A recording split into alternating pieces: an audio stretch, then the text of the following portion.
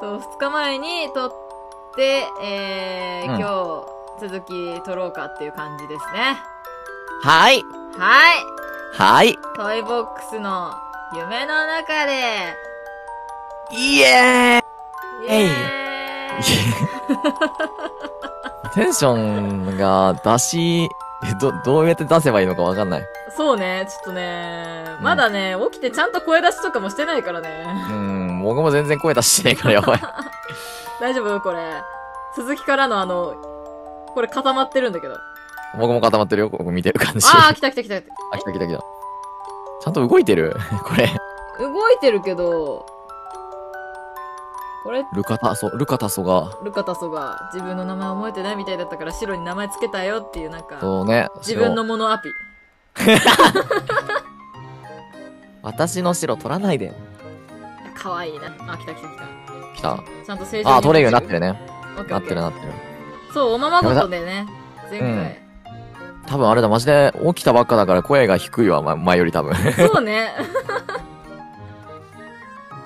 話しかけ、あー、遅い、はいまた遊びましょうね。うんあ、そうそう、そんな感じだったわ。え、早速じゃあ行くか。行きましょうか。でも、割とね、結構いいとこまで来てると思うんだよねいやでもこれで終わったらなんか結構いろんな謎が残ってる気がするけど。ね。長い。BGM がおさみになった。うん。おっと、なんだ？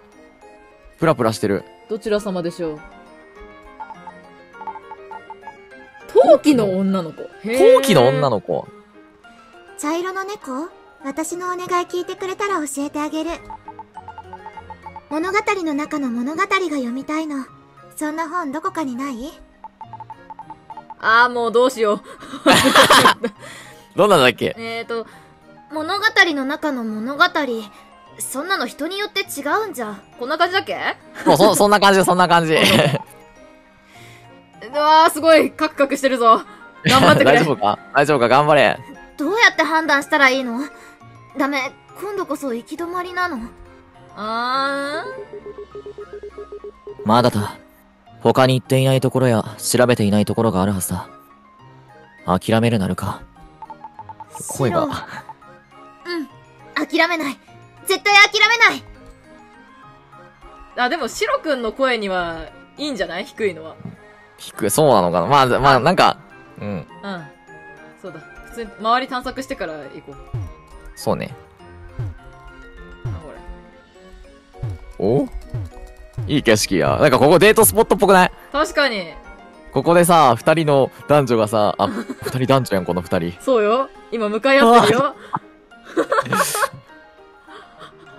ルカ、実は俺お前のことが。シロ、私も、獣なの。まさかの、まさかの告白。でも、ここ、マジでなんか二人は幸せなキスをして終了だよ、これ。ねなんかあの、ギャルゲーとかでありそうなスポットだもん。ねえ。セーブ。セーブ？いや、しても、ああシロは猫みたいな耳がついてるよ。ほら、やっぱり、おっ気になっと、てるよ特定班が、特定班が起き出すとこれ。本当に。で、本って言ってたけど、あれだよね、うん多分。ルカちゃん家の家に確かあったよね、あの、でっけえ本。ああ、あれのことか。あれじゃね？あの、で、でけえやつあの。だってあんな、あんなの、なんもなかったもんねあいはずないもんね。うん。おっと、あ帰ってきた。うんぬるっと入ってくるからイベント感ある。うん。ね。ここだっけ？ここだよね。うん、ここの、これこれこれ。おおめーじゃカクカクしてるこっち。あえ俺、あ、イベントっぽい表紙にドアノブみたいなのがついてる。ええー、あ、これドアノブか。だね。最初僕扉だと思ったもん。これ本だと思ってなくて。うん。おお本の声。お、えっと、わ、私かな？わかんない。お、でも女の子じゃない？これ。なんかあの確、え何してるの？うわごめんなさい本とまで話せるなんて思わなくて。物語の中の物語っていう本を探してて。じゃあ簡単じゃない。通してあげるから自分で見つけてごらんなさい。ー、おお見つけたら持って行っていいわ。他のは私のコレクションだから触っちゃダメよ。こ、これ入り口なの？待て。本の中に入るのか。どんなことになるかわからないぞ。キウキしちゃうな、これ。でも、あったよ。まだ探してないところ。ルカが行きたいなら。行こあらら。さりげなく、さりげなく鏡に映った白がずっと気になってた。あ、ほんとだ若干映ってる。若干映ってるのがすごい気になってた。ょっと、一応、あれだな。あのね、セーブしようか。そう。追あ。やばい、声、声が出ない。いや、まあ朝っつっても午後なんだけどね。まあね、まあね。う。白は背が高くて常に裸足だよ。もうと 特定させる気満々じゃん。僕、特定させる気満々。見つけさせて、あれがルカちゃんの彼氏さんか、みたいな。あおっと？ー。お真っ白な世界。BGM がなんか、不気味な感じしていいね。いいね。N、O、何この？C これさー、右から左に動いてる表現なのか、これ。さーって。アルファベット。あ違うか。あ。これ本のなんか記述とかじゃないの？違う。あ、そうなの？そうなの？まあさーってなんか右から左に流れてるか。なるほそうそうそう。ど。かと思った。全然動いてない。あ、なんだこれ？青い本が落ちている。タイトルは、おあヘンゼルとグレーテルだ。いや、これはダメか？え、何を探すんだっけ？物語の中の物語って言ってたよね。物語の中の物語？黒い本が落ちている。黒い本。タイトルは、バーバヤーガか。え、聞いたことないけど僕。知らない。ちょっと、とりあえず本を探そう。ね、いっぱい、あ、ある、いいっすね、赤いうん本。赤い本。赤ずきんか？あー、白雪出た。あこれは何？あー、これ白い本か。真っ白な本が落ちている。この本、表紙も中も真っ白。これっぽあれでしょ、あの、物語は自分の、自分の力で書いてぐんだいくんだって。的な。そう、紡ぐんだみたいな。なるほど、自分たちで書き連ねていけと。そう、かっこいい。いいね。他にもあんのかな？あれ、あループしてね、あこれ。そうだね。ぽいな。青もあるし、見たし、うんうんうんうん4冊かな、今んとこ見たのは。そうだね。なんか白がやっぱよくわかんない場所に落ちてるからな。ね、これはね、ヘンゼルとクエンゼルとグレーテルでしょ？えー、っと？ってなるとい、あこれは、これは何なの？あ、もう戻っちゃうのこれあ、ね。そういうことか。なんか、お花に見えた。ね、僕も、なんかラフレシアみたいなさそう、そうそうそう。大きめの花かなってちょっと思っちゃった。で、あ、じゃあこれ持ってくか。こいつでいいんかな？これしか、だって、バーバヤーガがわかんないからちょっと。わかわからん。じゃあ拾おう。はい。真っ白な本。本の中で見つけたタイトルは何も書かれていない。だって他のやつに触ったら多分この人、ねえ、この中に閉じ込めちゃうからね。この緑って見たっけ？あ、緑見てないかも。タイトルは、カエルの王子様。カエルかよじか。あれだっけ？なんか、呪いかけられてカエルになってて、みたいカエルに姫がキスしたら戻るみたいなじゃん。な。うーん、確かそんな感じだった気がする。じゃあ、うんとりあえず戻ってみようバーバヤーガーってなんだマジで？か。。ねえ、気になるわ。後で調べてみようん。あら、見つけたのね。う。おうよ。う、うん。これだけタイトルがないからそうかなって。持って行っていい？それは私のコレクションじゃないからお好きにどうぞ。おそっけないけど優しい。ね ありがとう。当たりっぽいのかな？そうだね、コレクションだったら怒られると思うから。まあ、そうね。まあ特にないかなう。ん。じゃあ、あの、陶器の女の子が、新たな物語を紡ぐために。ねそうね。君の手で。お、夕方になってるあ、ほんとだ。いいね。時間の流れもね。まあ、ま前も夜あったしね、確かに。確かに確か時間の流れわかりやすい。シロは私のこといろいろ助けてくれるよ。何タコ紹介が好きなのね。ね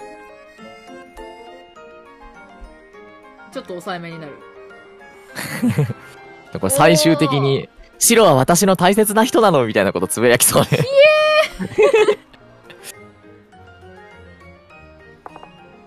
陶器の女の子に真っ白な本を渡した。やばいやばい大丈夫か？お大丈夫大丈夫？大丈夫か？うん。動いてる？動いてる動いてる。オッケー。これ本の中で見つけたの。物語の中の物語だよ。あーすごい。本当に見つけてくるなんて。でもあの何も書いてなくて。何も？書いてあるよちゃんと。ほらね。あルが浮かび上がってくる。少女と裸足の白猫って。へえマジか。おー、すげえ。エモ。え、エモい、めっちゃエモい。エモ。どうした？ううん、なんでもない。ね、読んであげようか。えーと、少女は朝ごはんの前に制服に着替えました。少女の中学はセーラー服です。着替えた後少女は寒くなってまた布団に入ってしまいました。そのまま、ああもういいよそう？めっちゃ頬が赤い最新作だよ。いいから、虎猫はどこに行ったか教えろ。約束しただろ。もちろん、そのつもりだよ。私ね、猫ちゃんとは友達なんだ。ん？ずっと見えてると疲れるから、あなたたちが来たら起こしてって頼まれたの。猫ちゃん、二人が来たよ。およええー まさかの登場の仕方よ。あ、なるほど。見えないようにしてたんだ。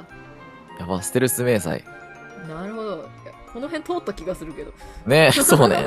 ブチって言ってなんか踏んでたかもしれない。うん。あこのエモスポットに。ね、エモスポットに来てる。ちょっと待って。ツイートしよう。こういう時も。一緒にいるおと、協力して元の世界にか、え？一緒にいる人と協力して元の世界に帰ろう。あー、びっくりした。なんか、え、うん。いや、散々白のこと話しといて、え？一緒にいる人って白のことじゃないの？ねえ。一緒にいる人と、なんかこれからも大切な時間を紡いでいきたいみたいなツイート思っちゃったよ。はい。もう、行くか？行くか？おーっと。大丈夫？にゃー。いやうわ、浮いた。おおマジか。マジか。何？え？え？おおおえ？ぬいぐるみになったの？かな？あ？あ？え、人間になったわ。え？えー、嘘。んあ、かわいい。え？これ、え、トラとはえどういうこと別人か。これどう、どう、どういくトラはね、同じ猫のぬいぐるみ同士、僕に協力してくれたんだよ。イケメンばっかりだな、出てくるの。ねいい やっとここまで来た。二人とも、待ってたよ。あんたは、え、これが兄貴？あ、兄貴なのかな？確かに。白にそっくり。まさか、ジロ。いい名前をもらったんだね。兄貴。兄貴待って、この人がお兄さんなの？だって、この人今、そう。僕らはぬいぐるみ。僕とシロは、双子の猫のぬいぐるみなんだ。あー、やっぱぬいぐるみなんだし。ねえ、そうだったんだね。逆に、ぬいぐるみからなってたんだね、こっち側に。ねえ。マジか。は待って、白は記憶喪失でちゃんと人間だよ。猫みたいな耳が生えてるのだって、私の両親みたいに体が変わっちゃったからで、ルカ。君と君の両親はそうだ。人間がこの世界に適応していった姿。でも、シロは違うんだ。シロはね、人に化ける化け猫になってしまったんだよ。えー、なんで？なんでなんで？白はそんな妖怪みたいなのじゃないよつくも神かな？あごめん。悪く言ったつもりはないんだ。ーあ。でもそれだったらいい意味かもね。まあね。化けの、化け、ば、ば、ば、ば、化け猫といっても、人間の姿を獲得しただけのぬいぐるみ。あっちの奴らと違って、魔の存在じゃない。ほう。うわー、もう切ないよーなんか切ない、本当に。話して。全部。知ってること全部。ルカ、ごめんね。怒ってるよね。花園。ルカの世界をこんな風にめちゃくちゃにしたのは。え？白なんだ。なんで？え？なんて？どうして？むしろじゃあ、何？人間に近寄りたいからみたいな。あ違う、違うか？どういうことだ？あああ？お、お？あ？どういうことどういうことだってばよ？どういうことだってば？ね？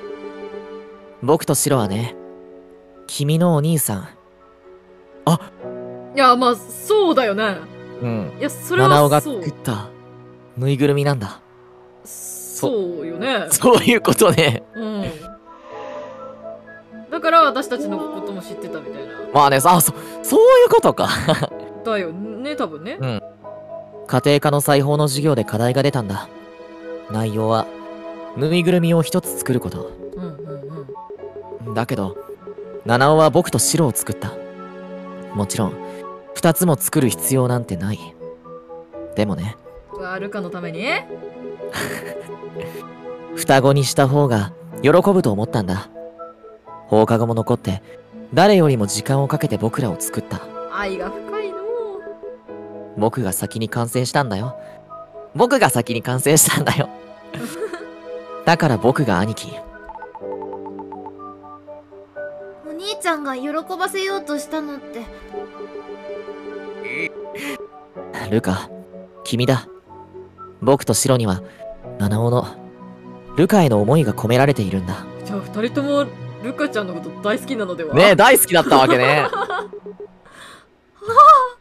めっちゃ、めっちゃ切ないよ。あだから、俺はルカのことを覚えていたのか？もう分かっただろ？シロ。お前は記憶喪失なんかじゃない。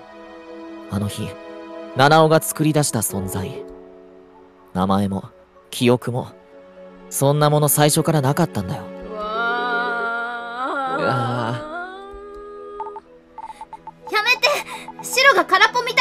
ないでシロは、優しくていい子なの。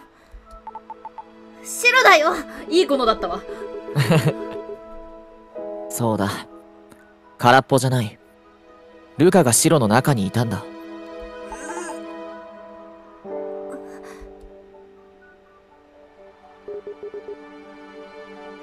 ああ、悲しそうな表情。あの日って、なんだ？あの日、僕と七尾が、あっちへ行った日だよ。あっちとはなんだ？七尾の学校はとても強力なエネルギーが集まってる場所なんだ。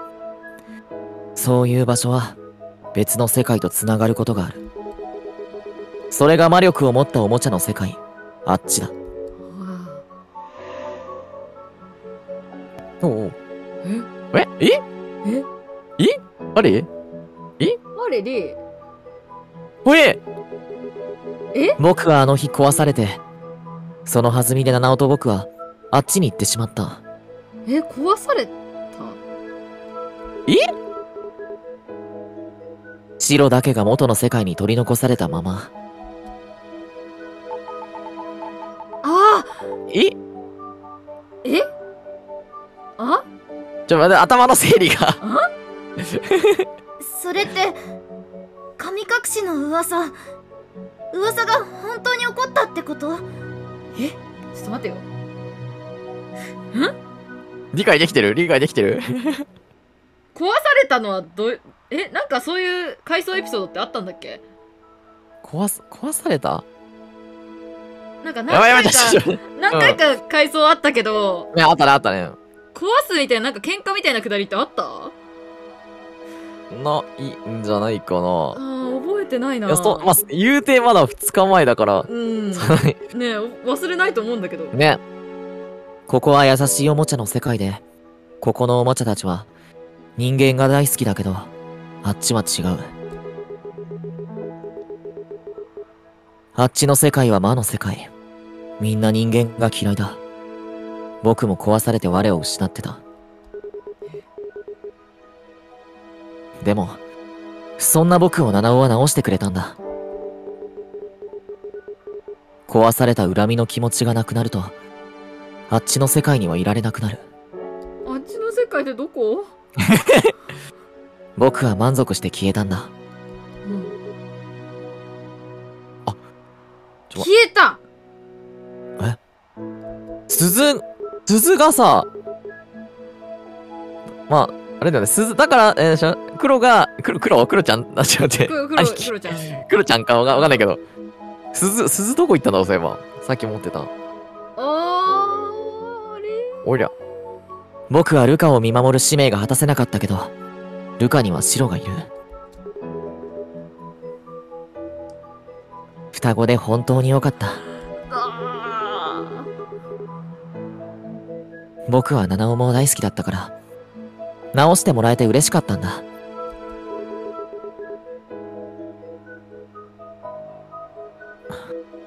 それからどうなった？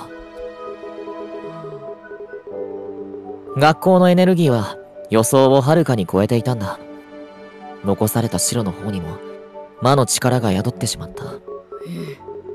魔の力は残された白の願いを見つけ、叶えようとした。その一つが人間の姿。化けも、べ、化け猫の力だ。また化け猫でだが。今ちょっとその力を借りてるよ。そっくりの顔の方が兄貴ってわかりやすいだろあ。そういうそういうことか。だから似てるか。うんうん双子って便利だよね。その姿は、本当の兄貴じゃないのか。さっき見せた黒い猫のぬいぐるみが、本来の僕の姿だよ。でも、この姿も僕と言える。双子だからね。そう。双子は鏡合わせ。化け猫になった白の、白に、鏡の世界を行き来できる力が宿ったんだ。うんうん。それから白は、無意識に、本能だけで動いて、双子の僕を探して、鏡の世界をさまよった。その時に、僕の顔を忘れてしまったみたい。でも、白の中には、ルカのそばにいる使命が残っていた。うん僕を探すこと、ルカのそばにいること、この願いが同時に歪んだ形で叶ってしまった結果、本当なら繋がらないはずの世界が繋がって、ルカの世界におもちゃの世界の力が流れ込んで、世界は本来の自分の姿を忘れてしまった。あってことはここは普通に元の世界なのか？ってことよねよね？その、なあ力を失った世界ってことでしょ？その、本来の。っていうか世界が多分そのおもちゃの世界の力がその現実世界に流れ込んできてしまっそうそうやてねうん。でじゃあ結局七尾くんはその魔魔の世界みたいなところにいるってこといるのよね？いるのよ。ね？いるのよね？いるのよね、ねえ。ルカにとっては、いるはずのお兄ちゃんが行方不明のひどく歪んだ世界になってしまったんだ。白が私をそんな白を一人にしたことが心残りで、この歪んだ世界にと、とどまっていたら、トラが助けてくれたんだ。トラちゃんトラ？ここにいれば会えるかもしれないって。トラはルカの猫だから、ルカを助けたかったんだ。トラちゃんいい子やんけ。ルカとシロを助けるため、僕らは協力した。僕は、トラの体に入ってシロを待った。うんうん最後の力を使ってここにいるんだ。これが全部だよ。白、白は、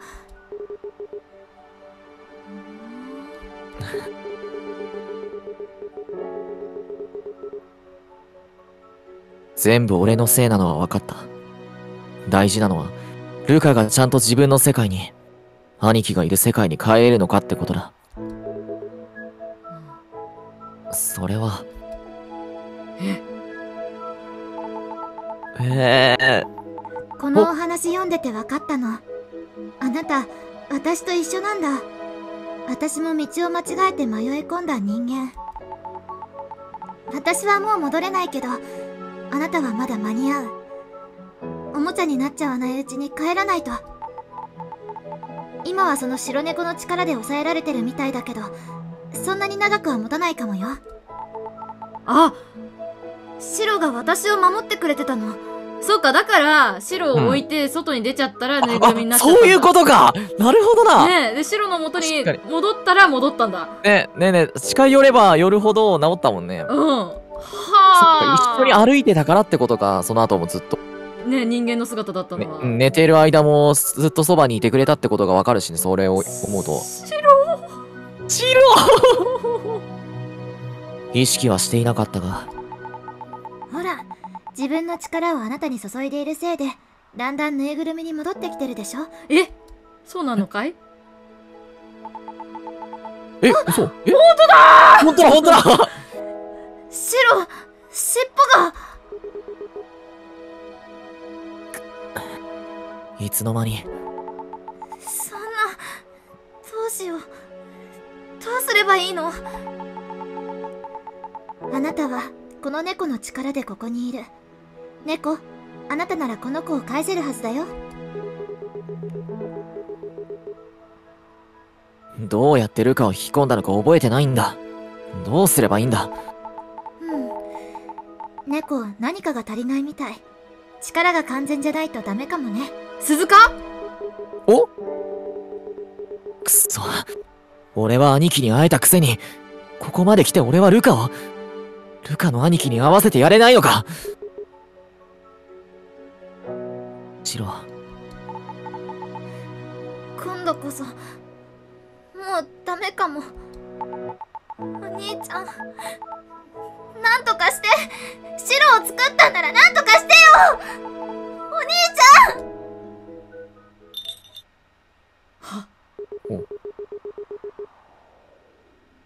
今、ルカから聞こえた音。もしかして。